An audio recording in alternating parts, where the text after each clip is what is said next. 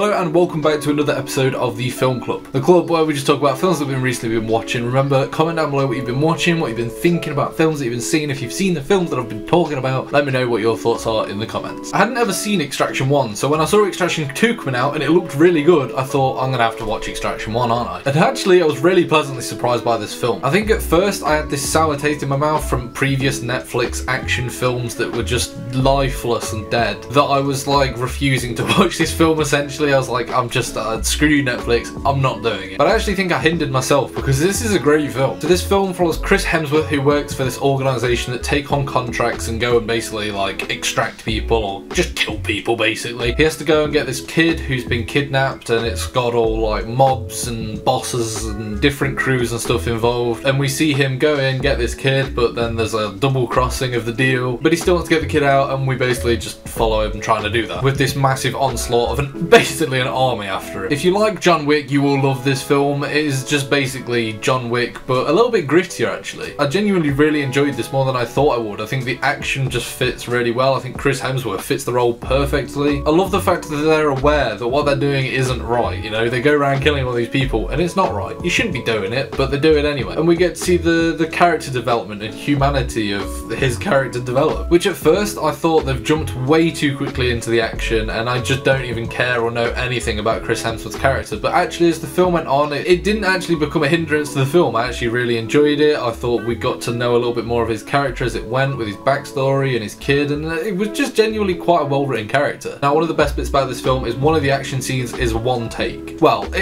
it's semi, it's not one take. You can see that there's cuts, but it's meant to feel like it's one take. And it does an absolutely stellar job. I need to see this more in action films, and I wish action films did more of this, because an issue for ages has just been too quick cuts where it's to the point of like, I can't see what's going on. Having it as one take really, really builds the tension in such a great way, and to me, this film did it perfectly. He was just running through different buildings, and the, I honestly don't know how they did some of the camera movements. Like, I work with cameras, and I know cameras, and I, I was just baffled watching it. How they go from like a street fight straight into a car chase, it's crazy. The editing on this is brilliant, and it's not perfect. You can see that there is quite evident cuts, but at the same time, it doesn't matter because you're lost in it, and the tension of this scene was just fantastic. The way they incorporated some really, really technical fight scenes like knife fights and even just big gun fights and uh, being able to do it in such a way that it still looks brilliant is very impressive to me. I, I, I really enjoyed it. The ending of the film, seeing him basically just get killed.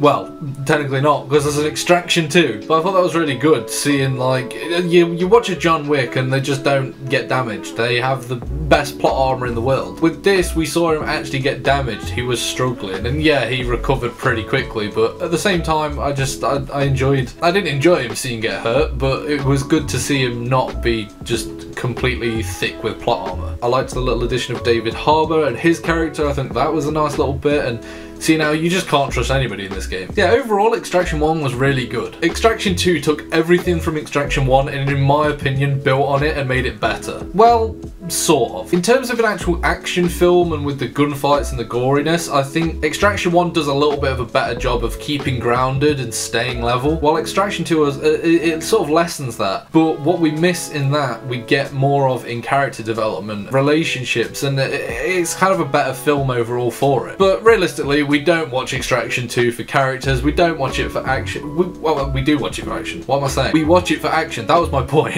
and the 21 minute long action sequence that was one take. Oh my god. We went from fighting in a prison to a prison yard, which, oh my god, that might have been one of the best, like, choreographed action sequences I've seen in a long, long time. The awards need to give action sequences an, an award or a category because they, they, they deserve some recognition for that because it's crazy. But the fact they go from prison fighting on land to then fighting in cars to then fighting on a train is just bonkers. I don't know how they did it. I don't know how they sequenced that all together. It suffers from the same issue from Extraction 1 where you can see that there are cuts and there's evident places where it, it, it transitions, but it's just so good. I don't care. The fights on the train and the fight in the prison bit, I just absolutely loved seeing Chris Hemsworth beating people up while he's still on fire, then grabbing a dumbbell and smashing someone's head.